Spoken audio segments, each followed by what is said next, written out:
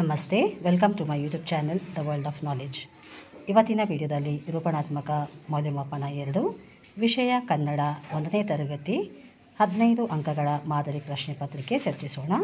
ನನ್ನ ವಿಡಿಯೋಗೆ ಇನ್ನೂ ಸಬ್ಸ್ಕ್ರೈಬ್ ಆಗಿಲ್ಲ ಅಂದರೆ ಸಬ್ಸ್ಕ್ರೈಬ್ ಆಗಿ.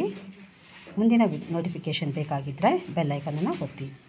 ಸೊ ಫಸ್ಟ್ ಮೇನ್ ಕ್ವೆಶ್ಚನ್ ಇಲ್ಲಿ ಕಾಣ್ಬೋದು. ಇದು ಮೂರು ಅಂಕಗಳ ಪ್ರಶ್ನೆ.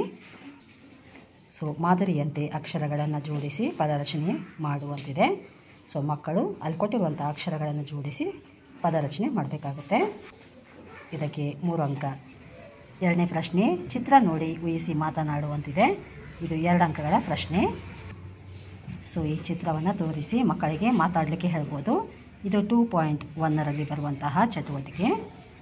ಮೂರನೇ ಮೇನ್ ಪ್ರಶ್ನೆ, ಚಿತ್ರ ನೋಡಿ ಹೆಸರಿಸುವಂತಿದೆ. ಸೊ ಮಕ್ಕಳ ಚಿತ್ರವನ್ನು ಗುರುತಿಸಿ ಹೆಸರನ್ನು ಬರೀಬೇಕಾಗತ್ತೆ. ಇದು ನಾಲ್ಕು ಅಂಕಗಳ ಪ್ರಶ್ನೆ. ನಾಲ್ಕನೇ ಮೇನ್ ಕ್ವೆಶ್ಚನ್ ಗುಂಪಿಗೆ ಸೇರದ ಪದವನ್ನು ವೃತ್ತ ಹಾಕುವಂತಿದೆ. ಇದು ಎರಡು ಅಂಕಗಳ ಪ್ರಶ್ನೆ. ಕೊನೆಯ ಪ್ರಶ್ನೆ, ಅಕ್ಷರಗಳನ್ನು ಗುರುತಿಸಿ ಹೊಂದಿಸುವಂತಿದೆ. ಸೊ ಎ ಇಂದ ಅಕ್ಷರ ಬಿಗೆ ಹೊಂದಿಸಿ ಬರೀಬೇಕಾಗುತ್ತೆ. ಸೊ ಇದಕ್ಕೆ ನಾಲ್ಕು ಅಂಕ.